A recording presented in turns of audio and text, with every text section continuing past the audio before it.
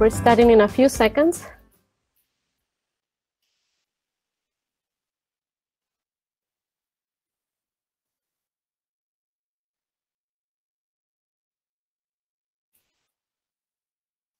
Okay.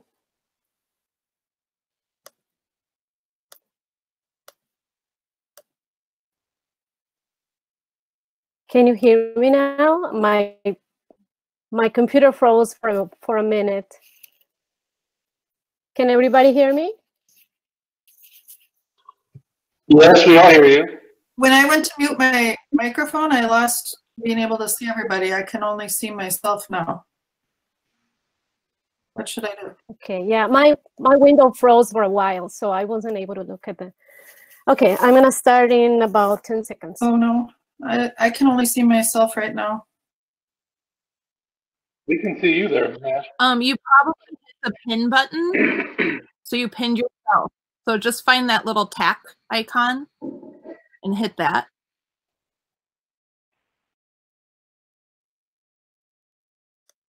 Okay, I'm gonna call this meeting to order. Good evening. Welcome to the meeting, school board meeting of Independent School District 271. Today is Monday, April 6, 2020. It is 7 p.m.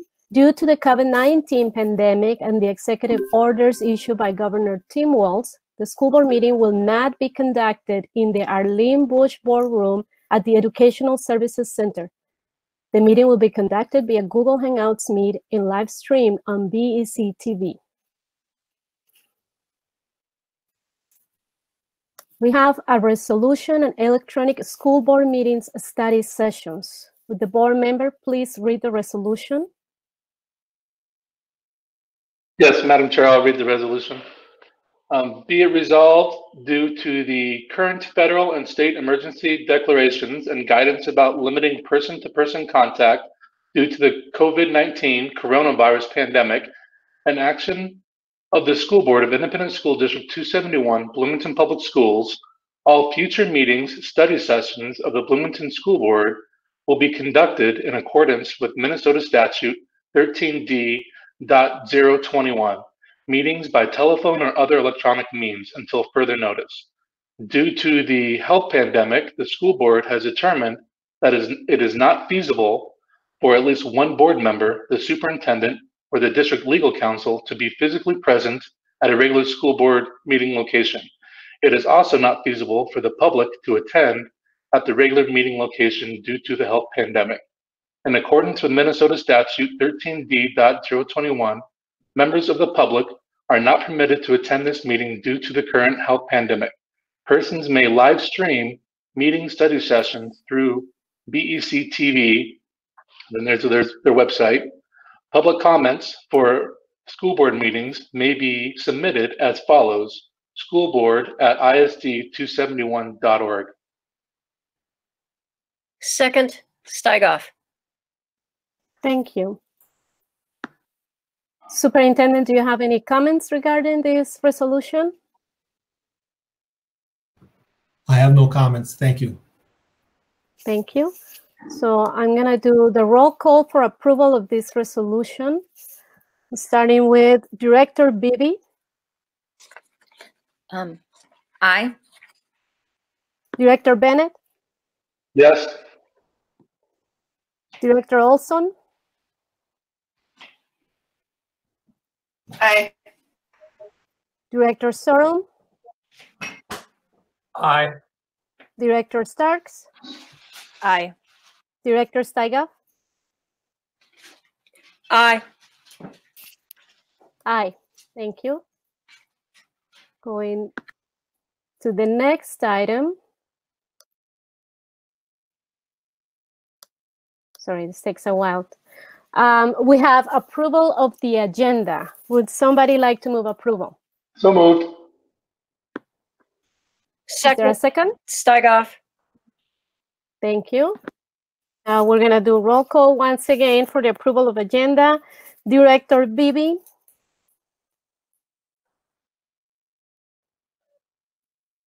Director Beebe, Aye.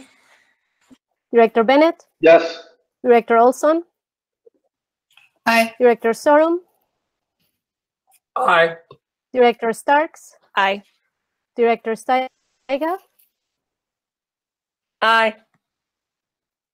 Aye. Thank you. Sorry, my, my windows have frozen. Okay, here we go. It's okay. Okay, the next item we have is recognition of staff. And for Madam Chair, can I interrupt you for a second? Madam Chair, can we do a roll call? We still haven't done the roll call yet. for attendance, you mean? Yeah, roll call. We didn't do the roll call. We skipped that part. Okay, I'm sorry. Okay, so let's make sure everybody is attending. So going back to the roll call, uh, Director Beth Beebe, Here? Director Tom Bennett, Present. Director Maya Olson, Here. Director Jean Sorum, Here. Director Heather Starks, Here. Director Dawn Steigauf, Present. and Chair Nelly Korman is present. Thank you. Okay, so now we go back to, okay, now we can go into the recognition of staff. So we have introduction of our new Executive Director of Community Education. I'd like to call uh, the administrator presenting today. Thank you, Chair Korman. Good evening. It is my pleasure to introduce our new Executive Director of Community Education, Mr. Jake Winchell. Jake started with us a week ago on April 1st. Mr. Winchell comes to us from the Cannon Falls School District. For the past 11 years, he has led their community education program. What impressed the interview team about Jake is his valuing of teamwork and data and his people and leadership skills. Jake holds an undergraduate degree from Gustavus College and a graduate degree in educational leadership from Minnesota State University. We look forward to a great relationship with Jake. Jake, I invite you to address the board as you start a new chapter in your career. Thank you, Mr. Fujitaki. Good evening, board, Chairman Korman. Thank you for the opportunity tonight. I'm extremely excited to be here and to be a part of Bloomington Public Schools. Um, nearly a week into this, and I can't speak highly enough about the people and um, what what you have going on here at Bloomington. I, it's it's unusual circumstances, but I'm I I can't say enough about the great things that you have going on and the wonderful people that you have here. So grateful for those that have reached out to me to help me as I transitioned into this new role. The community education staff has been great. Um, the cabinet members have been great. There have been so many people who have been willing to reach out to me and, and to help and do whatever it takes to help me, you know, get into this role and to be successful here. So really excited to be here, um, ready to grow and uh, to continue to grow as a member of the Bloomington Public Schools. A little bit more about myself. Um, I'm married to my wife, Megan, of nearly 10 years now. Um, together we have three children and a fourth on our way that, uh, later this summer. So uh, some great things going on in my house and um, really excited about our future. And again, I'm so proud to be a part of this team and I'm really excited to, to join um, this great this great public school district that we have here in Bloomington, and um, I can't wait to continue to grow. So that's all I have. Thank you again, and um, back to you, Chair Korman. Thank you. We're really excited to have you be part of our team. So we welcome you to the, the Bloomington Schools family. Thank you. Next in our agenda, um, approval of Part A of our agenda. Will somebody move that approval, please? So moved. Is there a second? Second, Steigauf. Thank you. Part A of this agenda is board business, field trips approvals, contracts, agreements, and finance. So I'm going to call on each one of the board members for approval. Director Beebe, Approve. Director Bennett, Yes. Director Olson, Yes. Director Sorum, Yes. Director Starks, Yes. Director Steigauf, Yes. And yes, the Part A has been approved.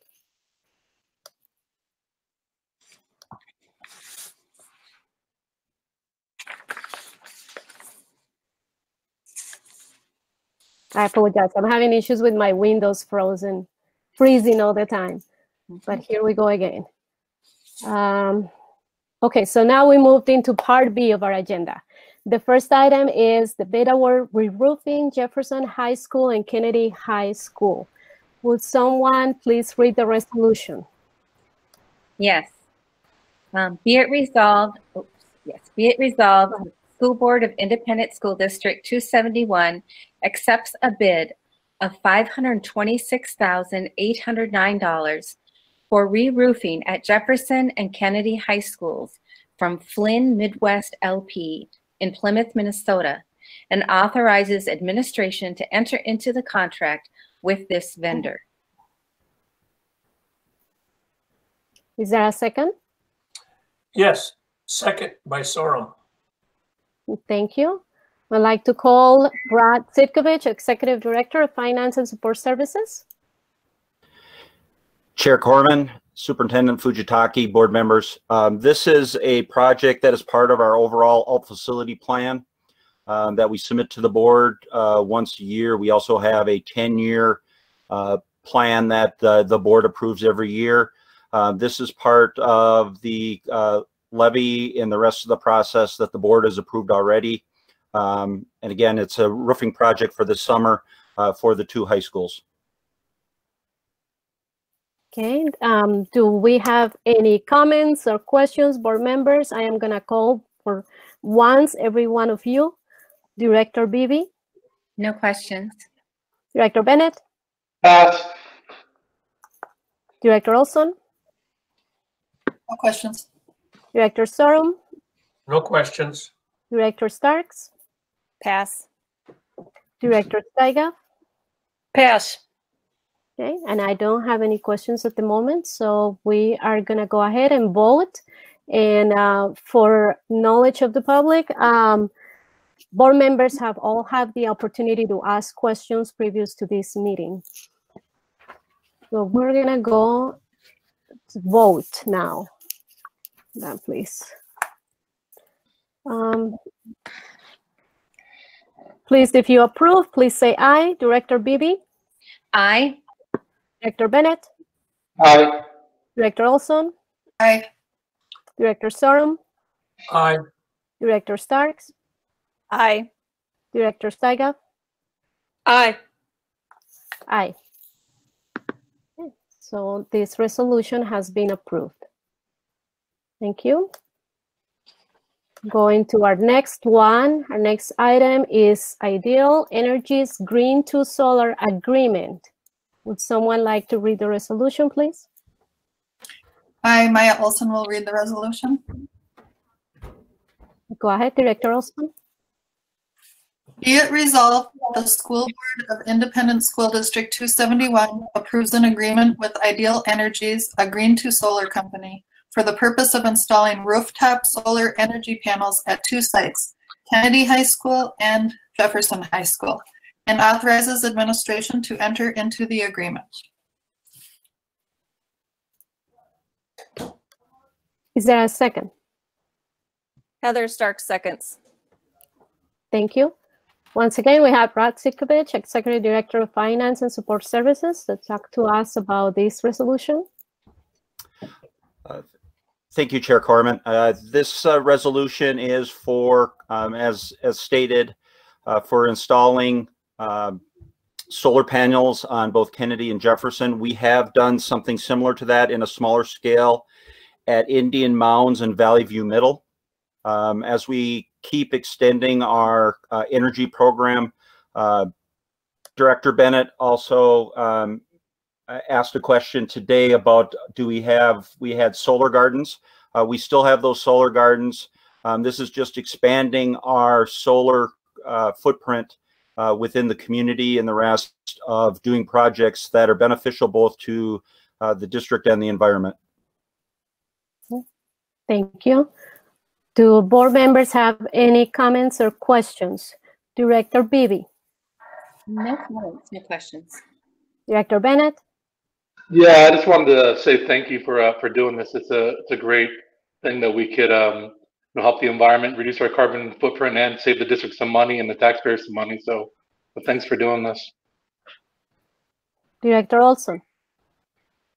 Yes, I'm excited about it too. My my son is uh, going to be doing an internship in the solar energy department, so I'm very excited about it. Director Sorum. No questions. Director Starks. Pass. Director Steigauf. Pass.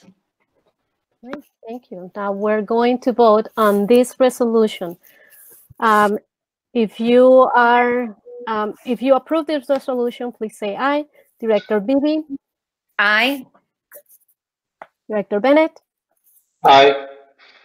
Director Olson, Aye. Director Sorum, Aye. Director Starks, Aye. Director Steigauf, Aye. and Korman, aye.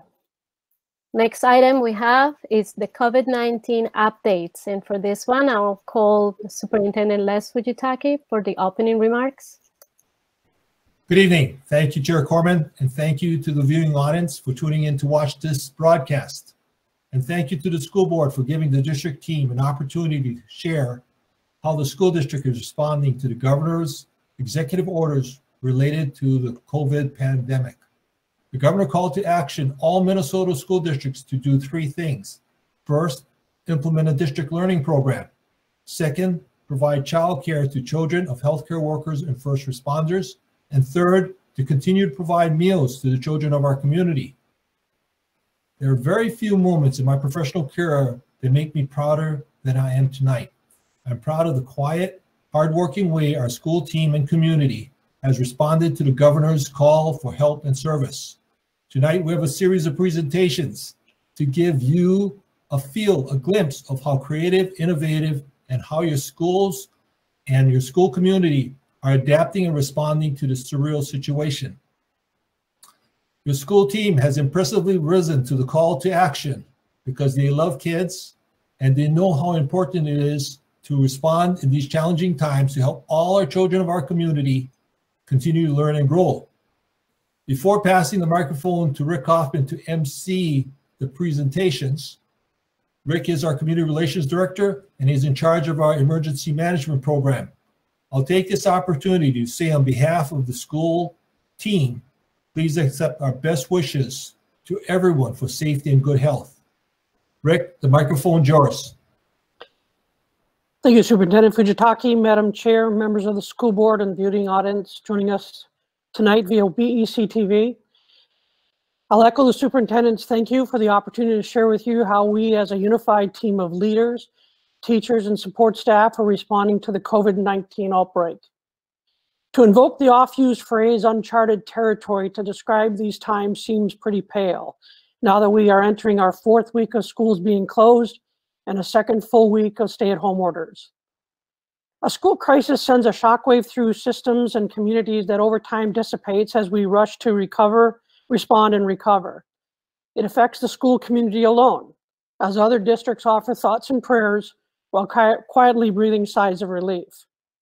For more than a month, no single school district has faced this global pandemic alone.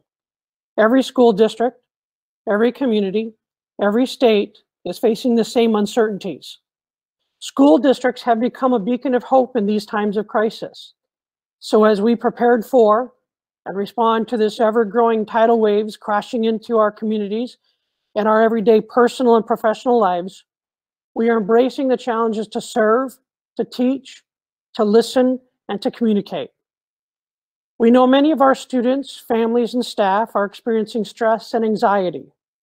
We're reminded that it is during these times that our children look to the trusted adults in their lives for security and guidance.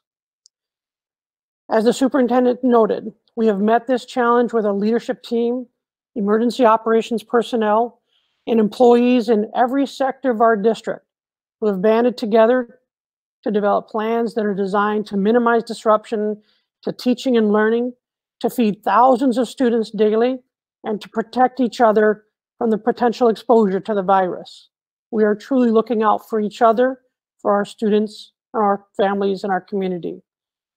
Tonight, you will hear from district and school leaders and frontline staff teachers and paraprofessionals and nurses who represent all of their colleagues and their teammates with accounts of what we are doing to continue to serve our students and families.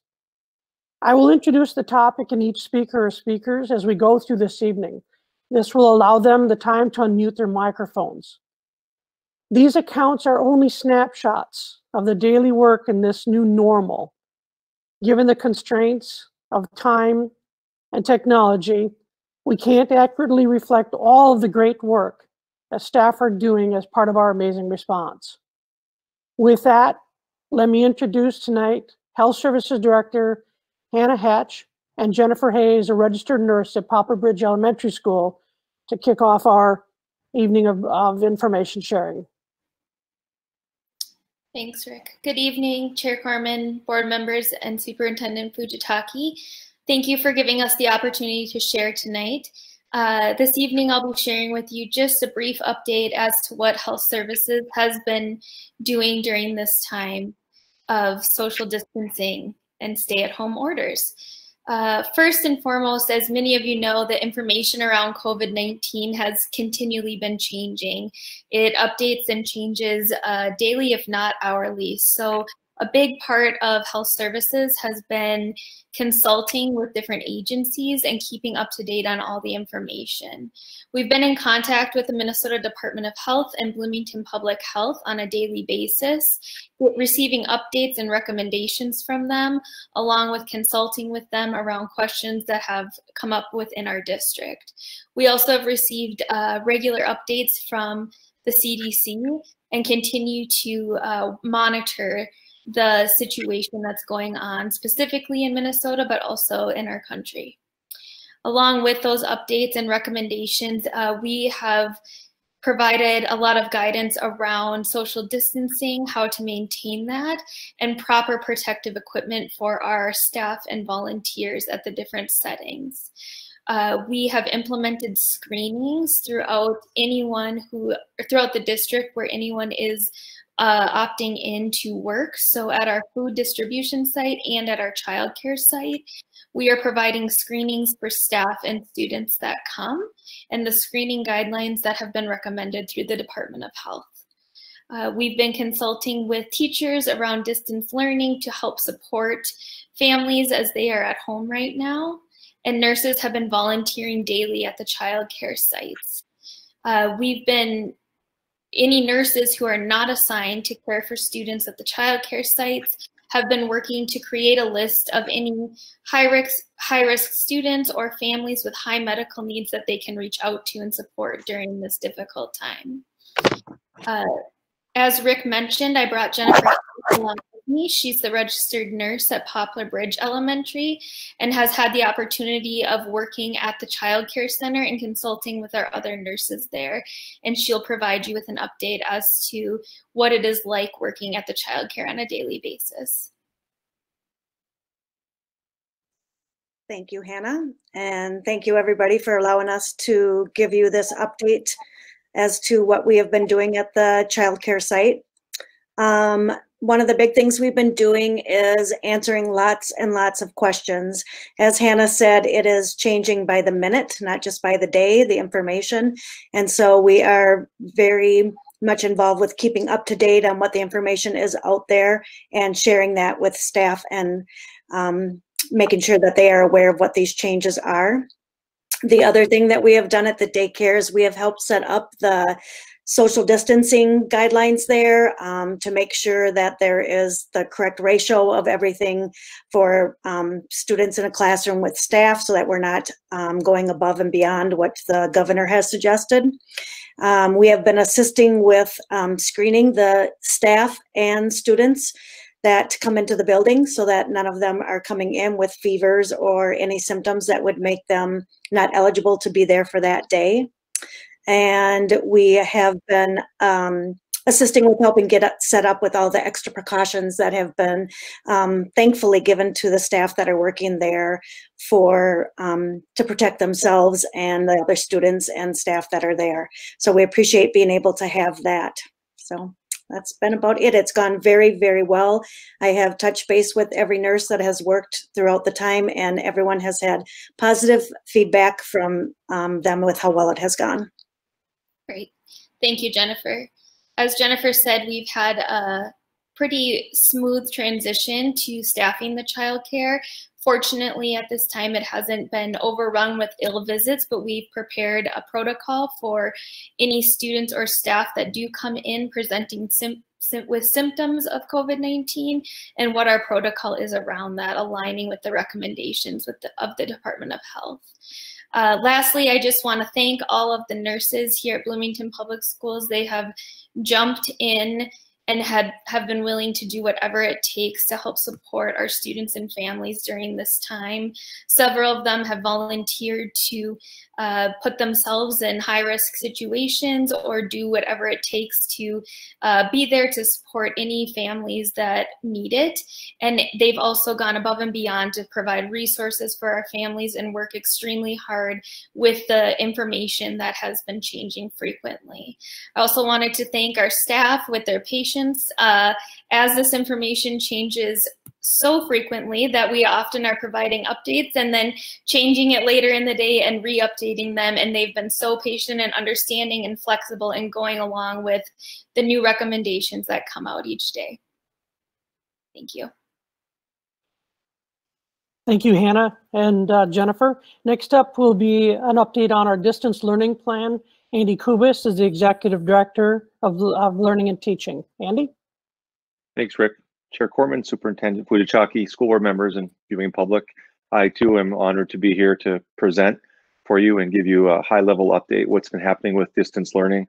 Uh, I'll echo what the superintendent said. Uh, there's been two or three times in this time period where have uh, it's been the most proud I've been as a member of the Bloomington Public Schools team. I've been here for over 20 years, and there's been two or three times that uh, I know my heart grew three sizes bigger uh, just from the work that's that's happening. Uh, I would be remiss if I didn't start out by thanking our teaching staff. What an incredible job they have done rallying to provide what's best for kids and families. Uh, no one, no one chose this. Uh, this had been decided for us based on the events of the world. And uh, again, a proud moment for me when teachers just, I mean, we had a spring break and I know that we had teachers just working and working and working to be ready for kids on that Monday we're we're lucky to have the teaching staff and the staff that the support staff that we have here in Bloomington. That that has to be first and foremost. Um, when the governor's executive order came out on March 15th, uh, we were ready in Bloomington, and I'm proud to say that as well. We saw it coming. Uh, from a leadership standpoint, we began to plan about what might happen if this happens, and so uh, we were ready with activities and a skeleton of a plan of of what distance learning might look like and then what I thought was um, really, really important was that we had the time then to be able to make a stronger plan. And so during that time, uh, some incredible things happened. Uh, just to highlight a couple, uh, with our partnership with technology, uh, we hosted some Google Hangout sessions for all of the elementary teachers by grade level. And so again, another moment for me of, of being proud was to, to jump into those Google Hangout sessions and watch the way that teachers were helping each other, the way that they were giving each other advice, listening to different ideas to put together the best plan for kids. It was really heartwarming to watch that happen over and over and over again And that day. Uh, since then, we've done the same thing with our secondary colleagues, where we've hosted Google Hangout sessions, uh, both technology and uh, John's going to talk about that later, I'm assuming. Uh, and again, based on their subject, but just getting together and being great colleagues to each other and making sure that this plan is is is working. So the other thing that I would want to talk about from a, a technology standpoint uh, is we all just partnered. I mean, special education, learning supports, EL. I mean, we all came together. Was just coming up and preparing our families with not knowing what was going to be happening, but with checklists about here's what you need to do to be ready for distance learning. Here's what kids need. Here's what teachers need here's what what uh, parents need and, and just did a wonderful a wonderful job i say one of the the tenets of our plan that i am really most proud of is our phase in plan so over a four week uh, session we phase in the rigor of what's happening. Just like what would happen at the beginning of a school year, uh, when kids come to school, those first couple weeks are about routines, making sure that we know what the routines are, what the rules are, what the norms are, how we're going to act, how we're going to treat each other. And the team that put this this work together considered that that this is a new norm, and so we need to establish routines and kind of bring ourselves up to speed and bring our kids and families up to speed. Uh, that's been a really really good thing for for us as we move forward and and phase in the rigor as I mentioned. So really really good. Having said that, I think it's really important that we all understand and our and our public understands that this this isn't school as we know it. Uh, we know that school is connections and trusted adults and going somewhere safe and eating with friends and talking with teachers. School is about support systems and psychologists and social workers and counselors there to help you every day that you can just walk and get some help. That's what school is, not not just the the curriculum instruction. And this is this is not school. This isn't homeschool either. Homeschool is something that people choose, and nobody chose this, as I said before. And so this is emergency school. And in emergency school, uh, we a team has done a great job of coming up with what might emergency emergency school look like, uh, knowing that we're doing our best to replicate all the different things that happen in the brick and mortar school. That's going to take time, and it's going to take us understanding that we've got a whole bunch of people that we're catering to. We've got some families who are saying this is too much. We've got some families who are saying this is just right. And we've got some families who are saying we need more.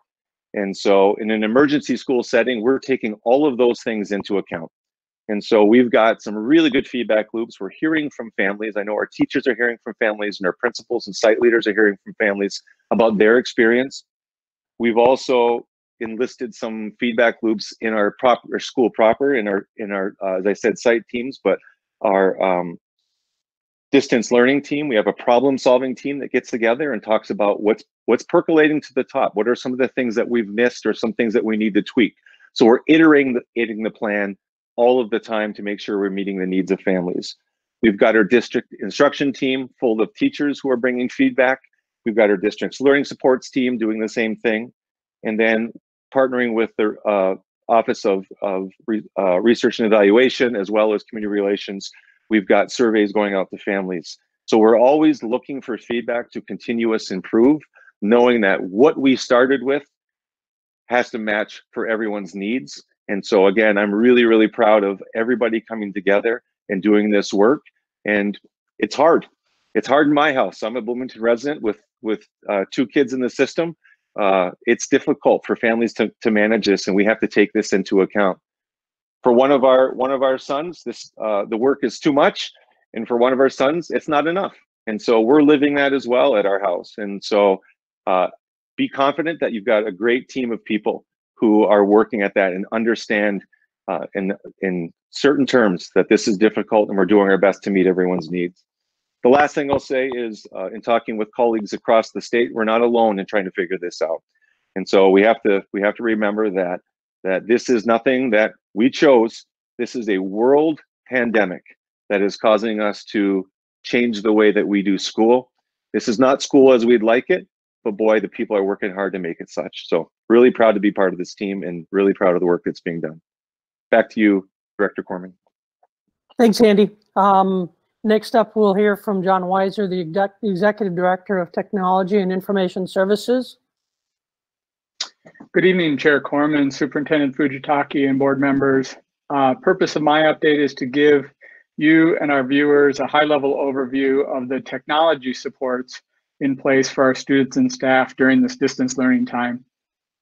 Uh, the guiding principle from the governor and from the Minnesota Department of Education it what is to ensure quote equitable education and equal access to learning and instruction end quote so thanks to our community and board leadership, the passing of the 2013 tech referendum has put us in a in a good position, I think, to adjust to an extended period of distance learning. We have our challenges for sure, uh, but without that referendum funding, they would be so much greater. Uh, I know that from listening to some of the conversations of my colleagues in, in other districts. Uh, I have four updates for you. Number one, student devices. We are a one-to-one district at grades three through 12. So students have been used to carrying Chromebooks home daily for quite a while. For our younger grades, as Andy said, we had a little bit of time to prepare for distance learning. Our school staff uh, stepped up and were able to ensure that every student is also able to access, has access to a device to continue to do school from home. Number two, internet access. We have, as an ongoing commitment from 2013, uh, an assurance that internet access is provided for students when they're away from school. Under normal conditions, this is about a two and a half to 3% internet gap. We meet that need with a system of checking out Wi-Fi hotspots for students, and we have about 220 uh, pucks in circulation from our sites. In preparation for distance learning, we ordered and prepared an additional 75 hotspots, and we've been distributing those as they've been uh, as the needs have arose. Number three, tech repair. Technology does break down occasionally. Uh, we have created a phone number for parents, an email address, and a text address for students and families to contact my team directly for support.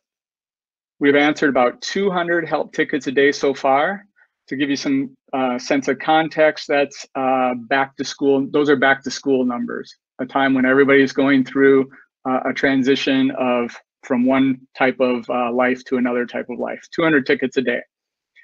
When something does break, we have what's called the tech exchange. It's a three three days a week non-contact pickup and drop-off service to exchange equipment that needs repair. So far, we've served about 80 students, staff, and families in that tech exchange in week one. Number four, staff support. Our digital learning team has unique skills in helping staff use technology to support instruction. You might recall that we are in year three of providing entirely online courses at some at our secondary sites. So we have a depth of experience here to draw from. The digital learning team so far since in the preparation for distance learning has provided 20 professional development sessions for our staff and about which about 500 teachers having attended those PD sessions. Our team isn't just the people at ESC, but it includes the media and tech integration staff. It includes the um, tech paras in buildings and the media clerks. Uh, all those people know our teachers best uh, that those teachers and teams are also providing additional support and one-to-one support for our staff.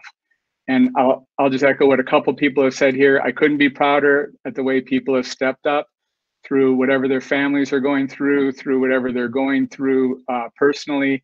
Uh, we have not had problems getting people to come in, do their jobs, and go above and beyond to, to help our kids in Bloomington. So quite a proud moment for, for all of us, I think. Uh, that concludes my summary of the technology supports. I'll hand it back to you, Rick. Thank you, John. We're going to move now into hearing from the school levels. We're going to start at the high school level with Carol Camper, principal of Kennedy High School, and language arts teacher at Jefferson High School, Cassie Pagel. Thank you, Rick. Um, Board Chair Korman, Superintendent Fujitake, board members, and the Bloomington community. I thank you for inviting me to speak tonight on behalf of the secondary schools, but most specifically, probably Kennedy High School. First and foremost, I just want to reiterate what everybody else has said. I could not be more proud of our teachers, our staff, and our students. As soon as we learned that we were going to distance learning, our teachers immediately stepped up and engaged in looking at standards and looking at their lessons and beginning the process of converting them to uh, digital platforms, whether that be Google Classroom or Moodle or Canvas. Um, they immediately embraced that and um, and just really worked together.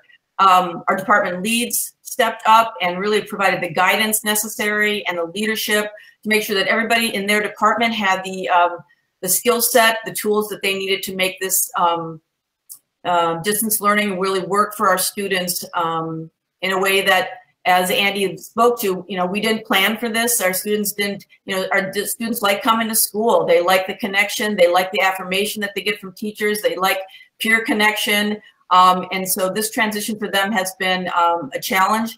And so our teachers have really stepped up to really meet students where they are at. So I really appreciate that. Our instructional teachers um, and coaches and technology have been outstanding. They've offered uh, mini PD on day one. They continue to offer PD throughout the week at Kennedy. Um, Kevin Nelson, our tech lead, offers every day an hour of kind of drop-in support. The teachers can come in and ask questions, and so that's just been um, just awesome. I could be not, I couldn't be more proud of them.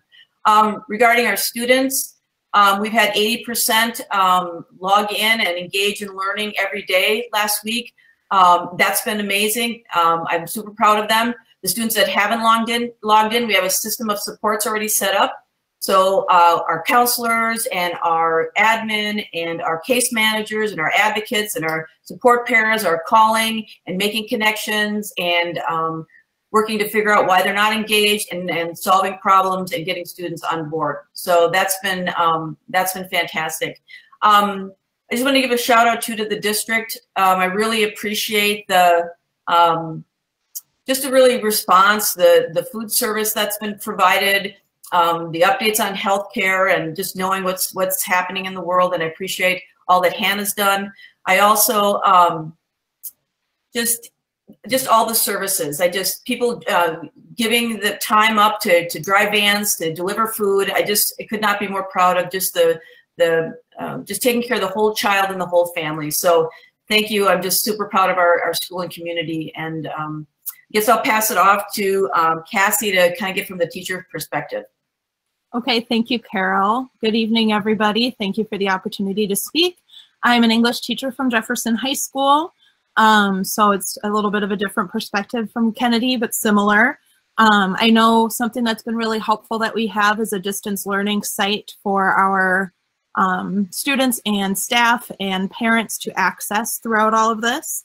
Um, in fact, we just got a couple of messages from students that said uh, there's a little link that they can click that says, I need help. And then um, the administration, counselors, whoever sets them up with the help that they need. And one of our students actually just signed in and said, I don't really need help. I just want to say that I miss you.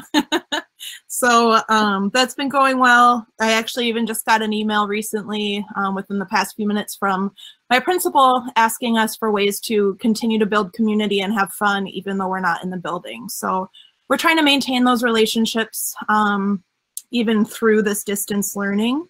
Um, like uh, Kubis was saying, Mr. Kubis was saying, um, we are in a state of emergency school, and I think that's been kind of tough to come to terms with as we were getting really excited about going into the last trimester. Um, so I think right now the teachers are just trying to find the balance of emergency school and getting to just those standards while still providing a, a an excellent Bloomington standard education. So we're just kind of dealing with all of that. Um, some things that I've been doing, I do teach an online class already, so I was pretty set with Canvas. Um, and I know a lot of teachers are doing, like myself, office hours daily. So my office hours are 9 to 11, where my students have a link and they can just drop in a Google Hangout just like this. And then I've started with my freshmen having an optional synchronous meeting that a lot of my students have been showing up to um, on Mondays. So they pop in and um, I just go over the instructions for the week and go over the assignments from the past week, answer questions, and you know just say hello to my students. But it's definitely a transition for all of us, um, especially my freshmen. I know that uh, this is their a lot of their first experiences with online education. My seniors are doing a little bit better. Um, so I think that's just that's where we're at right now is just trying to make this transition um, while still having these good relationships with our students and ensuring their success. Thank you, Carol and Cassie. Next up, we'll uh, hear from Brian Ingeman, the principal at Oak Grove Middle School, and Katrina Van Riven, an ESL teacher at Valley View Middle School, and also one of our uh, uh, finalists for the Minnesota Teacher of the Year, Brian and Katrina. Thank you, Rick. Uh, good evening, Madam Chair, uh, school board members, Superintendent Fujitake, viewing audience, and uh, thank you for letting us be on tonight to share the great work everyone's doing in the Bloomington schools. I too am proud of the work we're all doing together. It's it's great to see people come together and rally for a, a great cause of how we work together to support our Bloomington students. Uh, I can't say enough about the work of the teachers at our levels. Of course, all levels are doing a fantastic job, and I know specifically the middle schools uh, when the days are ready to prep for the distance learning, Teachers were, were dialed in, ready to go, had a lot of materials ready to go, a lot of creative collaboration together, and worked hard to make this a success so far. Um, all three middle schools really worked hard to help students make sure they get access to the hub each day. That's a key piece for driving our students to the hub to get their work, take attendance. Uh, middle schools, we sent out easy to follow directions. We sent out a video tutorial trying to help parents and students along to be successful at this. And we're really stressing students to use the hub and make sure that every day they get there, take their attendance, find their homework, stay organized, and get their day started to be successful. And by the end of last week, we had a huge success uh, having close to 100% of all of our students logged into the hub at least once. Uh, we're increasing our daily participation rates. We're close to 90%, all three schools. And we're doing a great job of getting students to participate in online learning. Um, now our focus is getting more students to participate in the work daily and you know helping teachers be successful with students on an individual basis along the way. But overall, our students are doing a great job responding to the to the challenge of being having distance learning be their new normal at school. And I can't thank our teachers enough for the work they do to make this engaging and, and fun for the students the best they can when we're not at school. I know teachers are using a variety of videos, Google Hangouts, Meets, and using their computers to call families along the way. And it could be teachers or counselors or uh, social workers, psychologists, support staff, special ed staff. Everyone's doing a great job of keeping our connections alive with students and making sure they feel supported during this difficult time. So at this time, I want to pass over to Katrina to talk more about the great work the teachers are doing at the middle level. Katrina, take it away. Thank you. Good evening, um, Chairman Corwoman, Superintendent Fujitake, and members of the board, and thank you for giving me a few minutes to speak tonight. Um, these times are definitely really challenging. However, through challenge, oftentimes that leads to great growth. And I think that's where the middle school teachers are at in terms of hoping that through these challenging times, it will be a time of growth for our students and for our staff in terms of independence, perseverance, and connection. So um, first, in terms of uh, creativity, the teachers are really appreciative of all the tech tools and tech training that have been provided and the constant support of our technology department, our media center clerks, uh, teachers have been trying to use Edpuzzle, use Canvas, use other sites. Uh, at the middle school level, our students are particularly interested in collaboration. So we've been trying to, whether it be through Google Hangouts or other interactive sites, give them time to collaborate with each other. And they really enjoy seeing each other's faces uh, like we're doing now. Um, in addition, teachers at the middle school level have been doing a lot of collaboration with each other. So teams have still been meeting and having bi-weekly or sometimes even daily team meetings. People have been meeting with their subject areas. Uh, there's been meetings with counselors just to make sure that all the communication is consistent and is clear and that the students are being supported um, in a consistent way.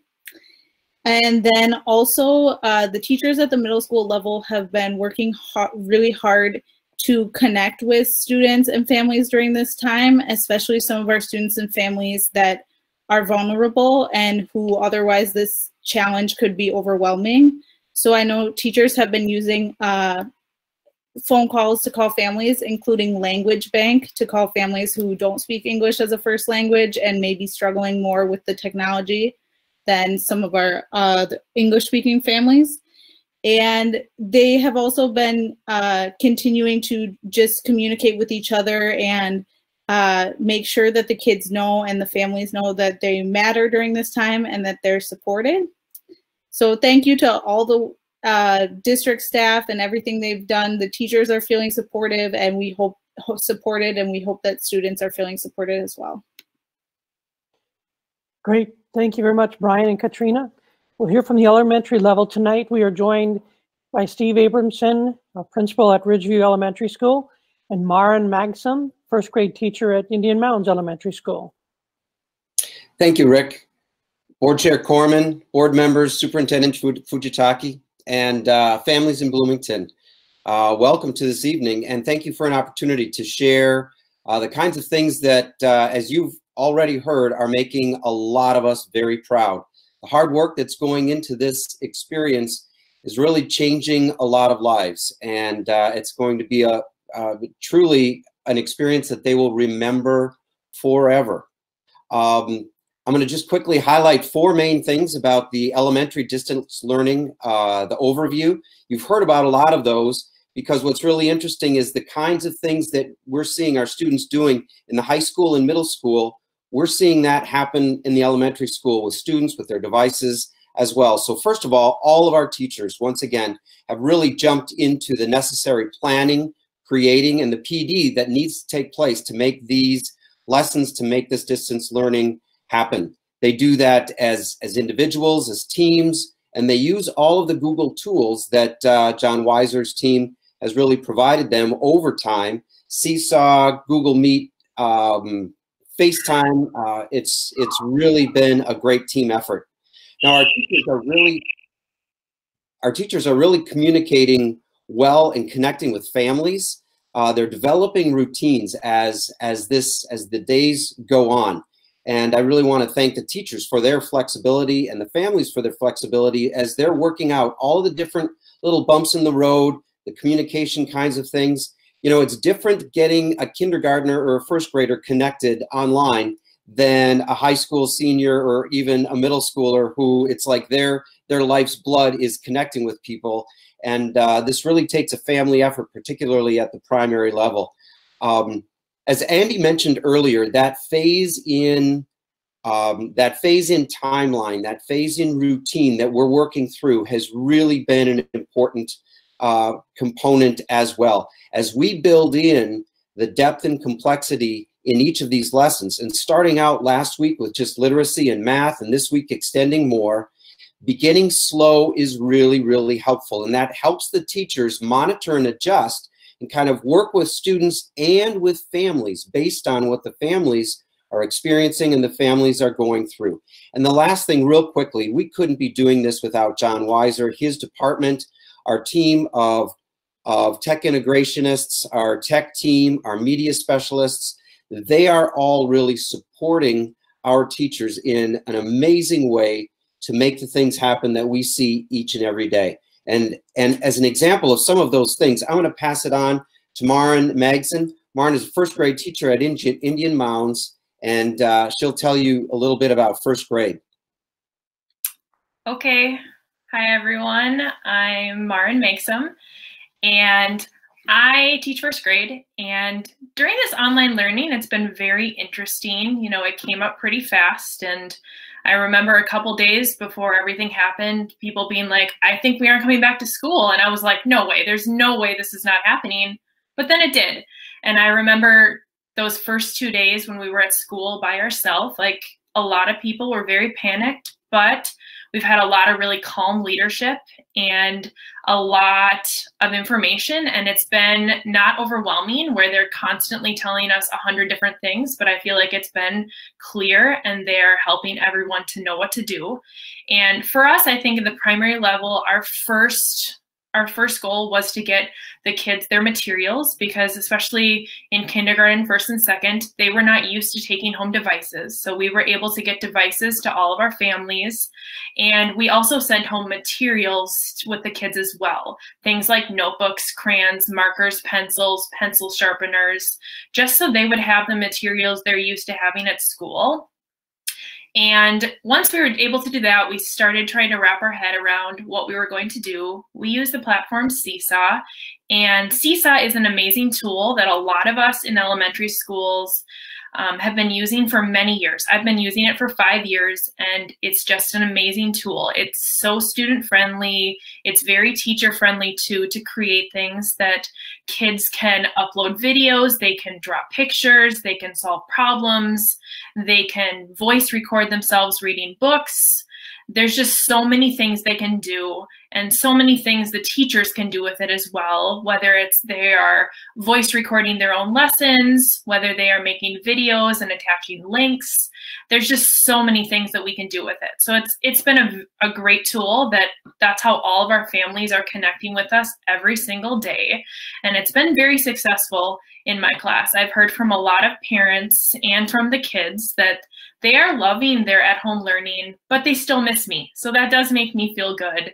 And one thing that I know all of us in elementary school are really trying to do is just keep connecting with the kids and the families and creating videos for the kids or just adding voice comments so they keep connecting with us because that is such a big part of elementary school and we just think it's so important. So we are, you know, this challenge is something we never expected and we are all working together, collaborating, really relying on each other, on each other's different strengths, and we will just keep moving forward and hoping for the best. Thank you. Thanks, Stephen Marin. Next up, we'll hear from the special education side. We've got Jennifer McIntyre this evening. Jennifer is the Executive Director of Student Services, and Sarah Golke, special education teacher, also at Indian Mounds Elementary School. Thank you, Rick. Um, thank you, Chairperson Korman, members of the board, uh, and Superintendent Fujitake, and our viewing public. Thank you for this opportunity to be able to talk about the work that we've been doing within student services um, to align with the, the district um, overall distance learning plan and really being able to identify the needs of our students within special education and in particular students who are needing additional supports and services during this time. Um, I have to echo what my colleagues have said repetitively during this board uh, meeting. I'm unbelievably proud of the team that has come together, both the district level leadership team, um, and the, the leadership that has come from that um, and, and come together. But I'm unbelievably proud of the work that our teachers are doing, our paraprofessionals are doing, all of our related service providers really coming together to figure out how to provide supports to students and to families in a very different way in a really quick period of time. Um, and they're doing it, and it almost seems effortless, which I know, and Sarah will talk about this, it is not. Um, it takes a lot of time and energy. And um, those two weeks that we had, and including spring break, many of them worked, um, many of them were collaborating. And I know within our Department of Special Education, many were already contacting families to figure out how do we provide services to our families and our students um, to be meaningful and to, and to really support them as we made this, this change. Uh, I want to highlight a couple of things, and then I really want to give Sarah an opportunity to talk about what um, she has been doing in her classroom and working with the students and families in which she works. Um, it's been fun to, to get to hear more about what's been happening in her classroom. Um, the teams within special education services in particular um, have been coming together across all of our services. So we've been looking at how do we combine together what our classroom teachers and paraprofessionals are providing supports to our um, to our families, to their homes, and to our students.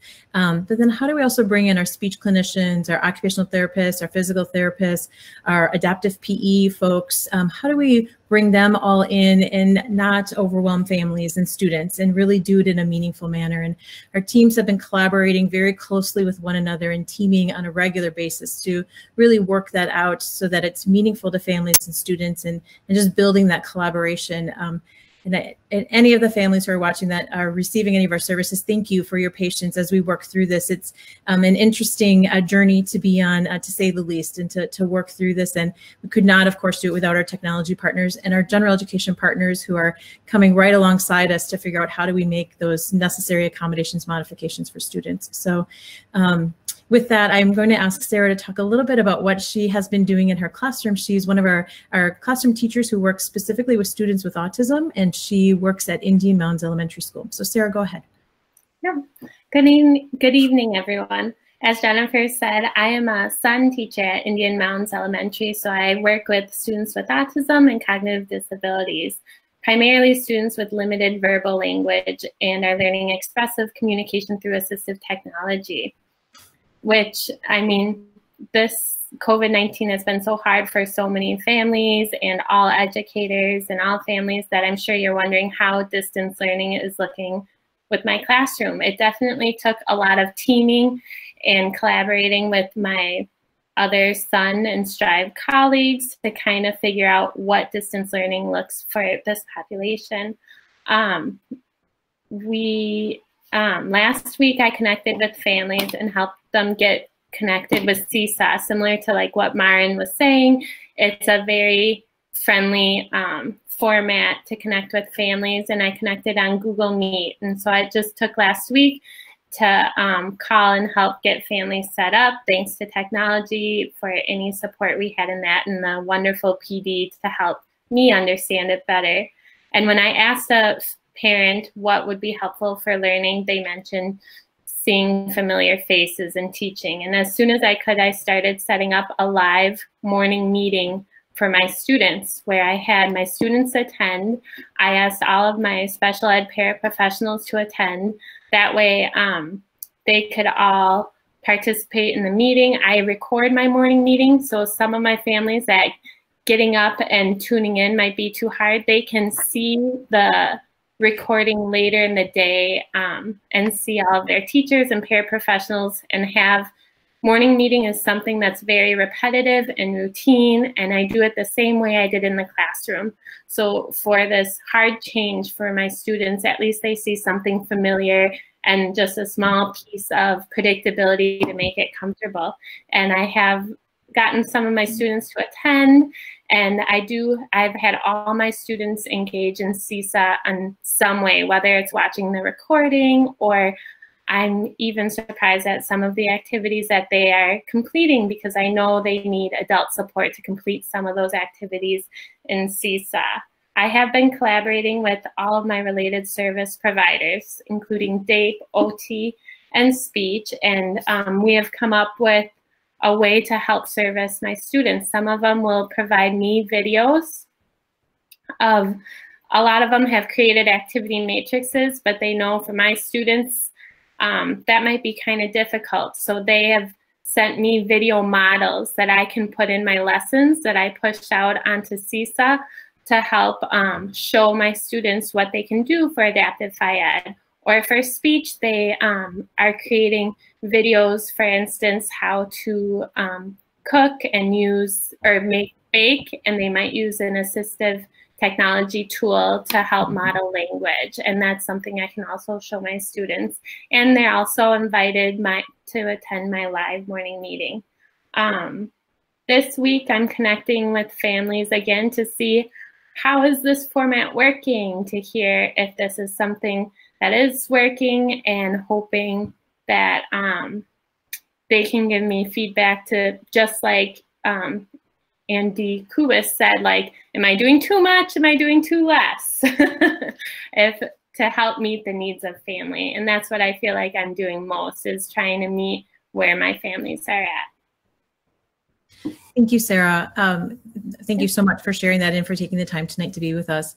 The last piece I want to share before I pass it back to um, uh, to Director Kaufman is we have been pulling together our mental health supports, as you can imagine, going through this time of crisis um, for all of us, for our staff, our families, our students, um, for, for all of us involved, it really has been a lot to take on. And so we have brought together our teams of school counselors, school social workers, and school psychologists to really start to look at overall mental health supports and resources um, as a district, and particularly during a time of crisis when we know that there's um, illness and hospitalization and other um, considerations we need to be making as a district. So I wanted to make sure that I shared that as well because it, it's a a key component, I believe, of us moving forward is making sure we have some solid mental health resources in place. So with that, I will um, pass it back to Rick. Thank you. Thank you, Jennifer, and thank you, Sarah. Uh, next up, we'll get an update on the early childhood work. Jake Winchell uh, will come back, the executive, new executive director of community education, and also Galen Seraph, preschool teacher at the Pond Family Center.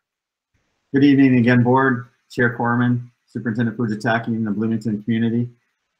Community education has been greatly affected by this pandemic, with many of our operations coming to a complete halt. Um, I'm very proud of what I've seen from our staff with how they've handled this with professionalism. Um, but one area that we've been able to maintain operations is in early childhood. And with that, I'm going to turn it over to Galen, who is our early, early learning services preschool coordinator, who will talk to you more about that. Good evening, and thank you, Jake. Um, MDE is allowing distance learning for children and their families ages zero to five who are enrolled in ECFE, Early Childhood Family Education programming, or preschool programming, regardless of the funding source. Early Learning Services decided that this was the most equitable way to move forward. So Early Learning Services has been hard at work um, to design and implement a family-focused distance learning plan. Our partners in early childhood special education have been busy collaborating with our programming as well as with community and home-based programming for children who receive special education services. Early Learning Services and Early Childhood Special Education currently serve more than 1,000 children and their families ages 0 to 5. The teachers in Early Learning Services have been using Seesaw, just like many in the district, to connect with families for the past couple of years.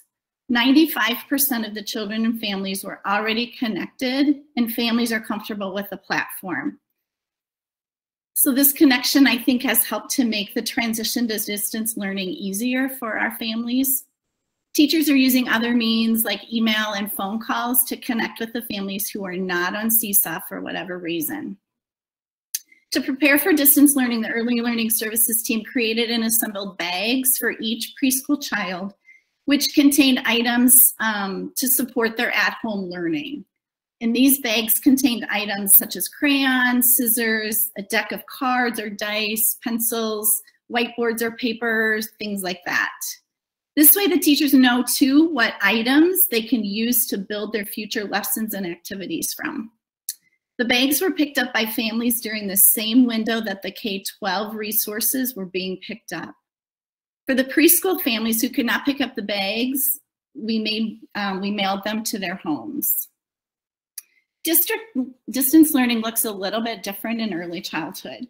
The goal for teachers is to connect with each family each day the child or family would be in programming. For some of our classes, like in um, ECFE class, they may only attend one day a week. Teachers are providing activities to do at home that in, in where you need minimal or everyday household items that are standards based. We're still basing all of our activities on our early childhood indicators of progress. Um, one of our activities that we have included would be making a pattern using silverware, fork, spoon, fork, spoon. Teachers are also making videos of themselves reading stories to children, singing songs, and that kind of thing. All of the activities can be done with any family member, an older sibling, a grandparent, or whoever is available. Our parent educators have been hard at work designing supports for families as they navigate this new challenge. We can directly connect any family in our program to a licensed parent educator, and we can send home resources to support in an area that a parent is struggling with. We have a parent educator who can also provide these resources in Spanish. Early childhood screening is on hold at this time per MDE. The team is contacting all families and rescheduling appointments for later this year. When we know more, we'll reach out to those families who have appointments or who still need appointments. This first week of distance learning has seen high levels of engagement and connection between families and teachers. The children are so excited to see their teachers and hear their voices, and the teachers are also excited to connect with their students and families. Families felt, have felt that the activities are engaging and manageable, and they have expressed a lot of appreciation for maintaining that home school connection, which is so important. Families tell us they feel supported during this challenging time. The Early Learning Services staff really miss the students and families, and we can't wait to see them again in person. We're happy to be able to serve the children and families in this way during this challenging time. Thank you. One last comment for me is that these programs are mainly fee-based programs, and if you saw the governor's executive order, um, distance learning is only K through 12, so it does not include um, community education or early childhood. So uh, we cannot charge tuition during this time, and um, we're doing this with no income from those tuition-based programs. Back to you, Rick. Thank you, Jake. Thank you, Galen. Um, we're going to move now to some of the services that we've been providing uh, to students and families outside of the school. Uh, so the first one we're going to hear from Renetta Runford. Renetta is our food services manager, and Kim Powick. Kim is a paraprofessional at Washburn Elementary School, but uh, Kim has been assisting with uh, the grab and go meals at uh, Kennedy High School and actually uh, took the lead on the first day and the days following, did a great job of getting us all ready for that. So I'm going to turn over to Renetta and Kim. Great. Well, thank you. Um, I appreciate the opportunity to address the board regarding our grab and go meals. Um, I do want to recognize definitely we have custodians that have pitched in to help. We also have peer professionals. We had bus drivers. We had the OED staff. Um, and not last but not least, we had, of course, the food service staff that has stepped up to the plate for this as well. So um, we also had with our weather, um, I wrote a little piece here. It says, I wrote down, the sleet came and then it snowed. With wind and rain, Team Bloomington won't be slowed. And with that being said, last week we did um, 17, over 17,500 breakfast. We also did um, over 14,800 lunches. And with that also, we did over eight um, 8,000 snacks. So we had quite uh, we had quite the lunches and breakfasts and snacks going out last week. Um, the meals are being delivered directly to Georgetown and also at other locations as well up our, as our two pickup locations. We um, at Westwood and then also at Washburn, we started that today. Um, again, I just want to thank the wonderful committed staff that we have working together with us. We couldn't do this alone um, and as a team, and I'm very proud of everybody. And so the one thing I want to say, the last thing is um, today when we went to uh, Kennedy High School, I don't know who the anonymous artists were, but they had decorated the with uh, the sidewalk with um, all sorts of fun um, thank yous for serving the meals, and so makes one very proud. So thank you, and I'm going to turn it over um, to Kim. Thank you. Thanks, Renette. Um, good evening, Madam Chair Korman and members of the school board. Again, I'm Kim Pavick, and I had the pleasure of working with Rick um, that week starting right before spring break. And it's all learning process. So as we were kind of learning as we were going, and you know, as Rick liked to say, okay, time to pivot. Um, so we kept trying to make everything work. Um, and we eventually got down to a system where the cars would pull up. We would give them a number, put it under their windshield. So again, that way we wouldn't be coming in contact directly with any of the um, you know, persons in the car or whatnot. And um, then they would pull forward up to where the kitchen staff was bringing out the meals. And, um, you know, they would call out, this car has four. Kitchen staff would bring out four meals for that. Um, I just wanted to thank Rick and his team for all the organization. Um, I have never worked with such a collaborative group um, the paras that were there that day or that have been there have done such a great job with switching roles and being cooperative. And even in those sleeting, rainy days, it was, you know what? We all just had smiles on our faces and it was an enjoyable day, even though because we got to see the kids, and that's what was kind of the best part about it is putting that face to face with some of the families that we um, you know, work with daily. Um, I did have the pleasure today of stopping by um, Westwood right at the end, and all their 100 meals were already gone. So they were sending people over to um, either Kennedy or Valley View.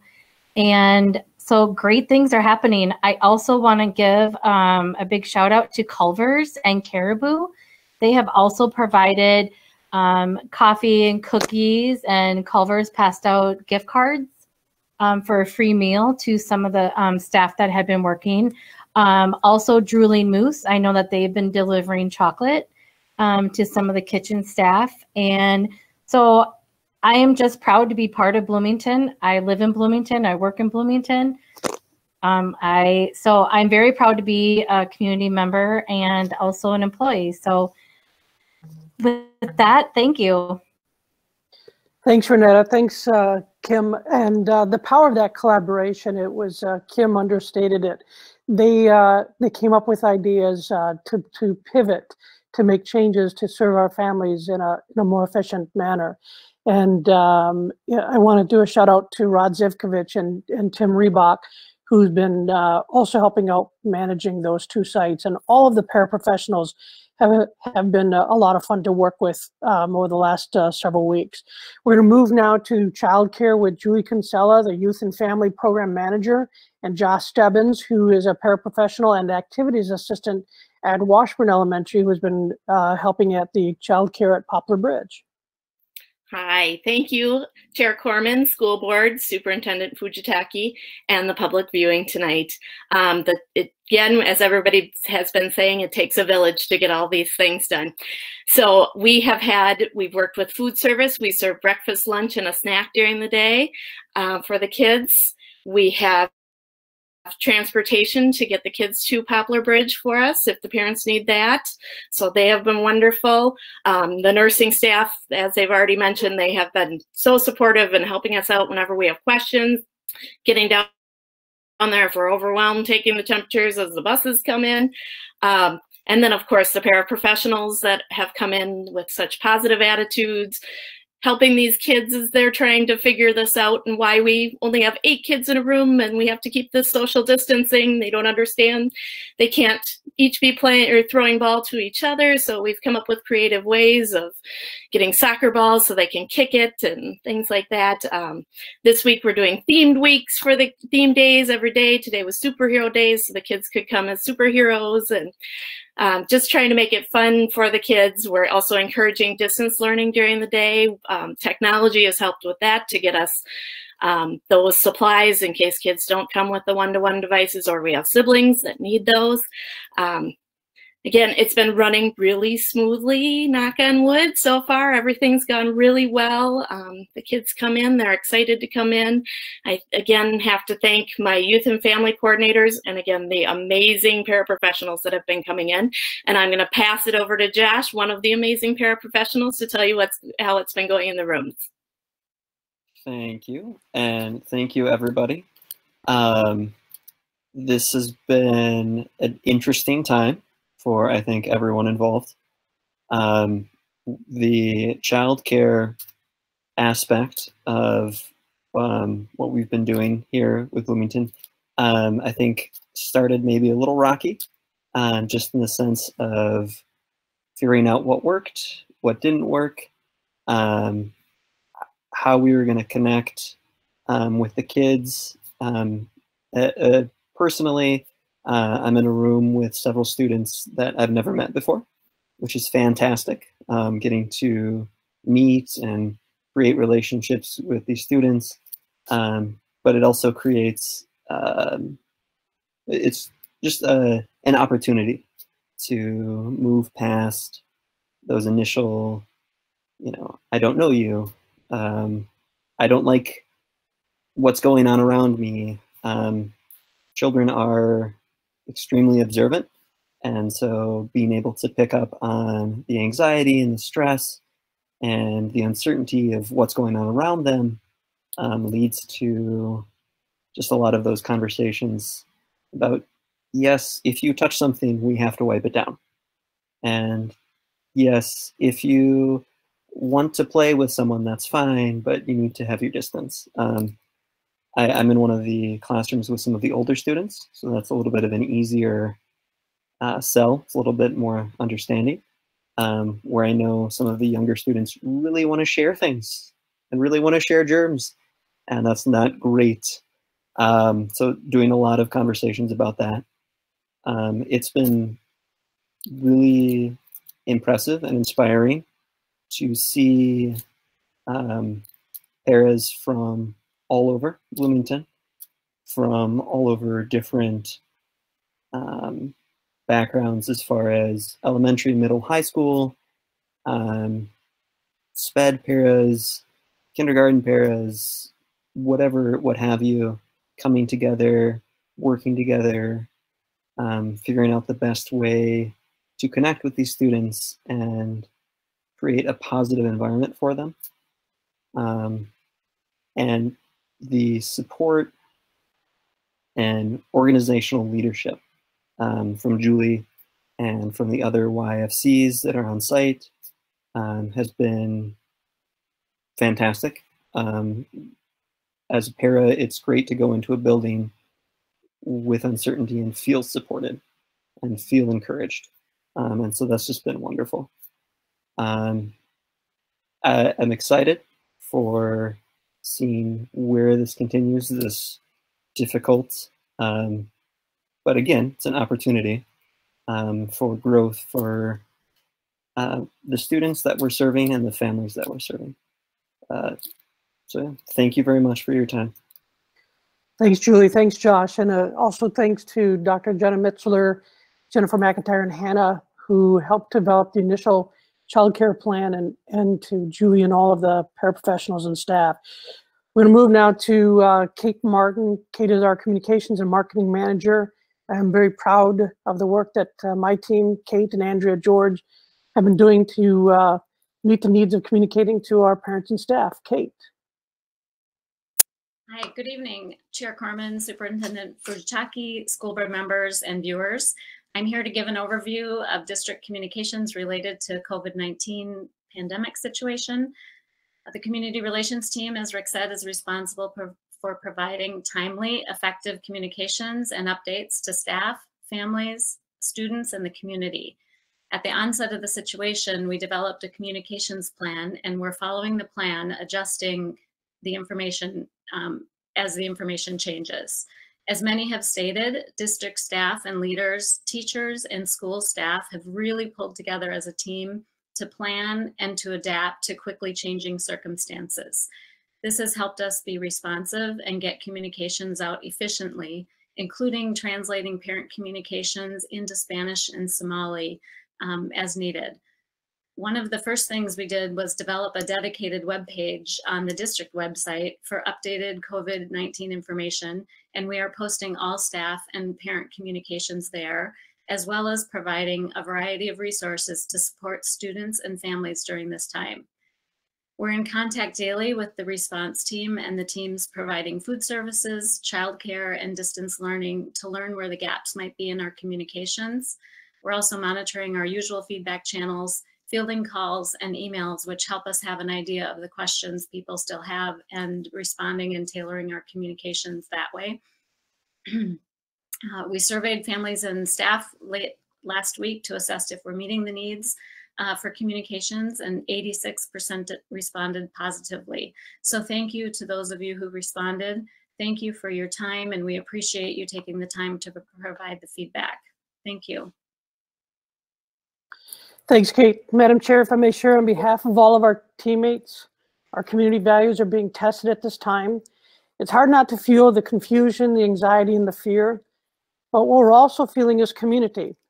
We must continue to be united and support each other. And as you can see tonight, we have reason to be extremely proud of all of our teammates, all of our leaders. And as a school family, we will continue to demonstrate compassion and care to our students our families, and each other as we navigate this global health challenge. As I shared at the State of the City, we may never know if we overreacted or we did too much, but we will know if we underreacted or we did too little. So we want to thank our students, our families, our employees, and our community. We see you, we appreciate you, and we will get through this together. Chair Korman, um, that concludes our presentation for this evening. Thank you. Thank you, Mr. Kaufman.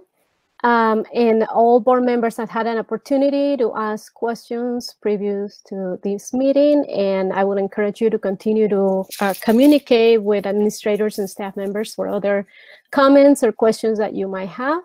And I have some uh, closing remarks, but uh, before I do that, I, I really want to say thank you all for providing such detailed report that you brought to us today um, there is um, one word that kept kept coming as you as you spoke tonight, and that's the word proud. You kept saying proud and how proud you were of the or you are of the the work that different people, staff members, have been doing. And I just want you to know that um, on behalf of the school board, we're very grateful to you, and we're also very proud of the work you have done. And we are proud of um, being able to serve in in in a school district, at the Bloomington School District, and, and to be working alongside with you.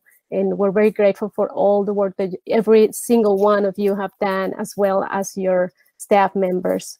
Um, I'm an educator myself. I'm a high school teacher, and I know um, how different this time has been and how challenging it has been.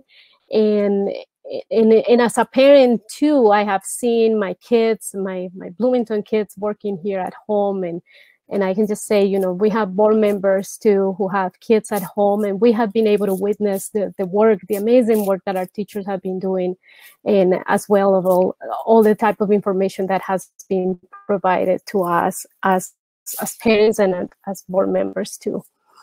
Um, I'm also want to say thank you to the community, you know, the families for being patient. This is a very difficult time.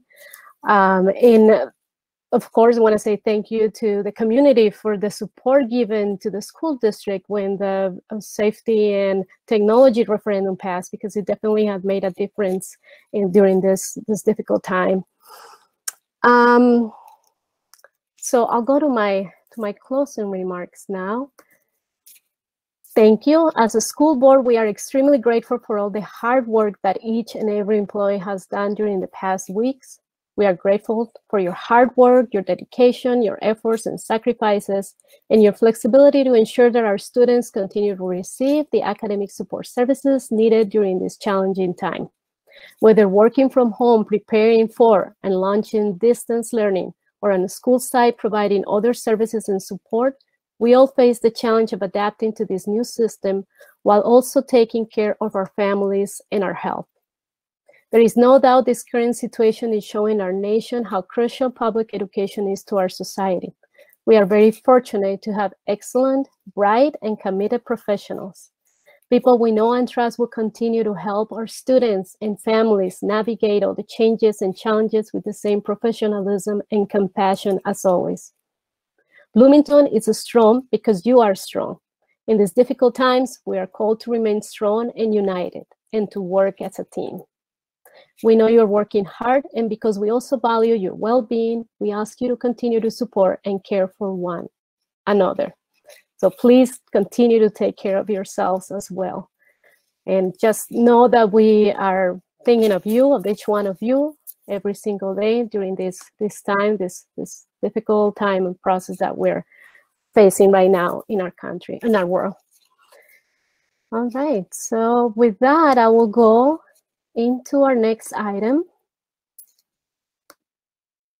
And our last item in the agenda tonight is the financial update provided by Brad Zivkovich, the Executive Director of Finance and Support Services. Chair Korman, um, the purpose of this uh, presentation is to give the board an update of the impact of uh, Governor Walz's executive order on the uh, board's approved budget uh, of both general fund food service and the fee-based educational programs, uh, community ed programs. One thing I'll say up front, as you've heard most of the night about uh, things are changing, whether it be how we're supposed to wear masks, not wear masks, um, how we're supposed to protect ourselves. The finance uh, pieces of this puzzle are, are in similar ways of us trying to understand the overall of what this the state is providing for us, what the federal government's providing for us, and how we're, we we uh, navigate through that uh, sea of information. Um, a lot of research is being done by the superintendent, uh, the executive director of HR, legal counsel, uh, cabinet members, directors of departments to try to figure out what um, what actually all the different pieces mean. And so as I go through kind of giving you a high level, uh, I provided you an outline of that in uh, um, your board packet, but just kind of giving you the high level of the three programs where we think at this point in time uh, they're at and some of the things that we're looking at from both a, a state and federal level of uh, possibly having uh, benefiting us and then also two of some actions that we are planning on taking uh, with the uh, mainly the community education department uh, right now. So um, if we look at the general fund itself, the major fund, most of the revenue that's provided by the general fund, the governor and the state have committed to still providing those funds. So based on that, uh, we don't see any real significant change within there. We see some savings um, over time. Um, right now, we're not hiring subs for the classroom or for for paras. Um, so we're seeing some savings there, but we also have additional increases in cost for personal protection equipment. uh, masks, uh, gloves, uh, sanitizers, all those different pieces. Um, we also have additional costs. You heard from uh, Executive Director Kubis about uh, sending out mailings and the rest. It's additional mailings that we had to do, additional copies that we had to make, and then uh, through other the costs associated with the child care program. So all those costs uh, and the, the, revenues there, we feel that at this point in time, um, our analysis of the general fund is the general fund is in uh, fine shape to what the budget the board approved uh, back in uh, December, the revised budget.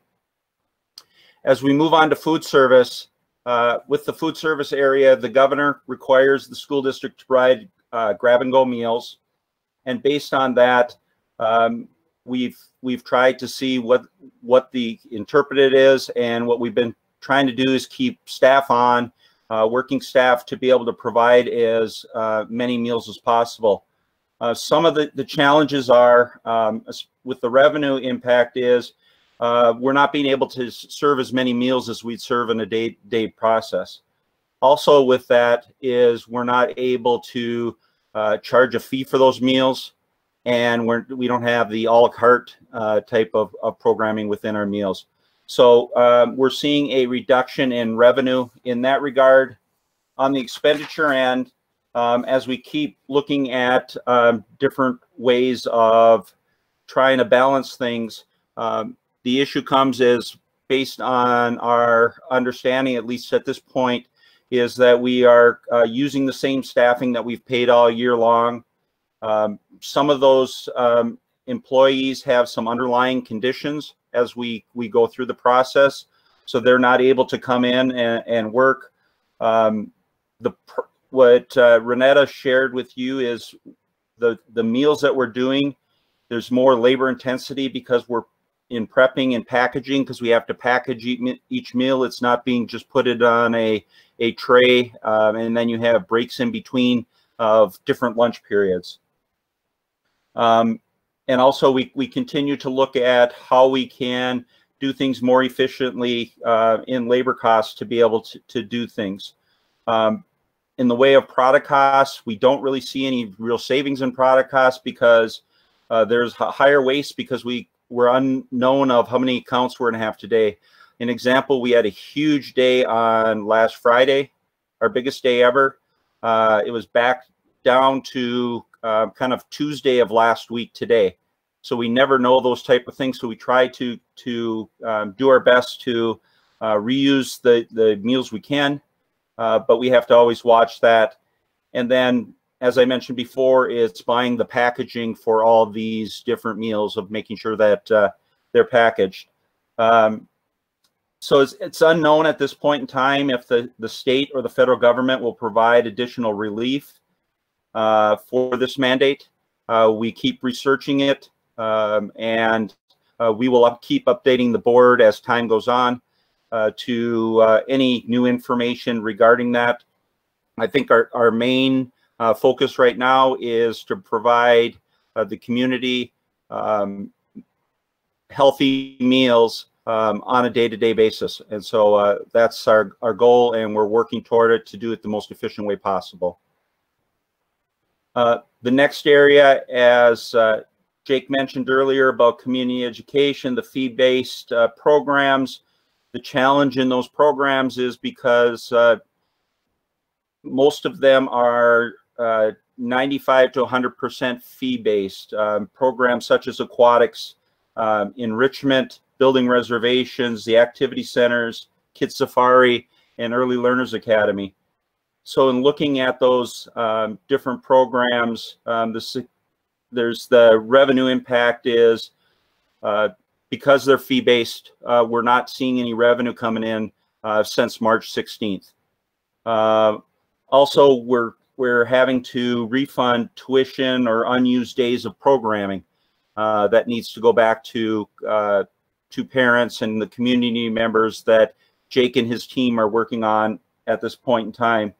Um, the the expenditure, uh, as we kind of looked at, as I mentioned earlier, not understanding um, how um, this, the legislature and the governor wanted us to handle uh, community ed and other fee-based programs, um, we were going off of the initial governor's order of compliance that uh, we don't furlough anybody, we keep everybody on, and we move forward in that regard.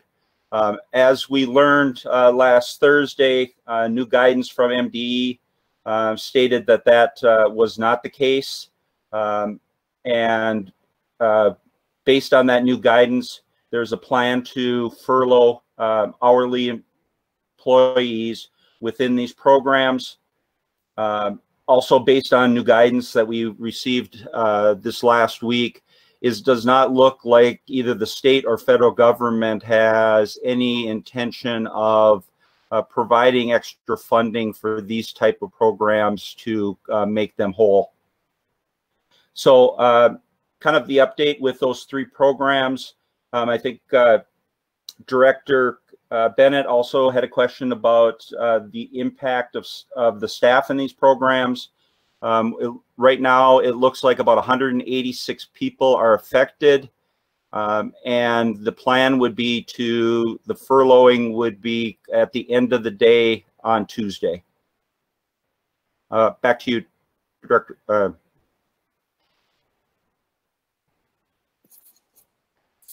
Thank you. Okay, well, any questions or comments from board members to Mr. Zivkovich? Uh, let's start with Director Bennett. Uh, no questions. Director Olson? No questions. Director Sorum?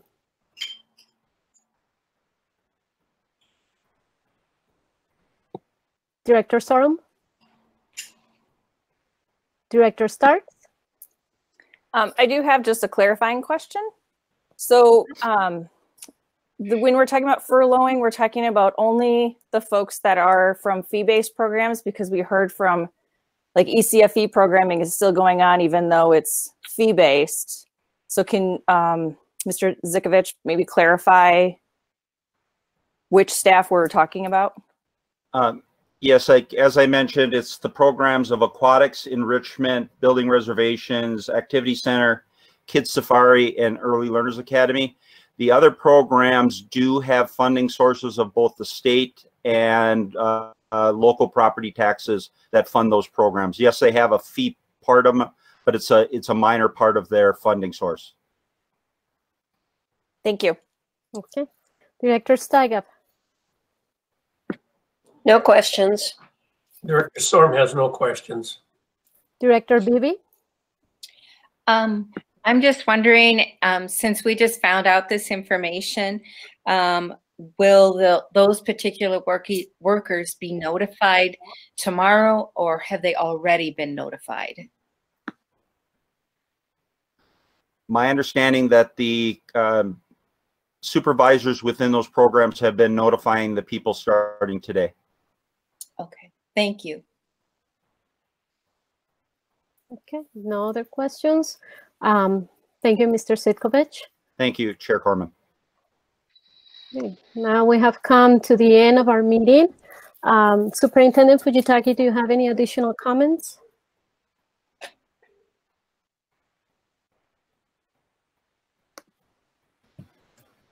No, I have no additional comments. Thank you. Okay. Well, I'd like to once again thanks everyone and um, thank you for such detailed reports and for being here with us tonight and also for the, the listening and viewing audience. And thank you to uh, BECTV too for broadcasting of this meeting tonight and for all your help and to every single um, staff member for Bloomington Schools. Thanks a lot. Um, I'd like to um, ask someone to move adjournment of the meeting tonight. Uh, motion to adjourn. Okay, any seconds? Second. Sorum. Thank you. All those in favor of adjourning the meeting, please say aye. Aye. Aye. Aye. Aye. Any opposed? No one opposing. This meeting is adjourned. Thank you. Have a good night and take good care of yourself. Thank you.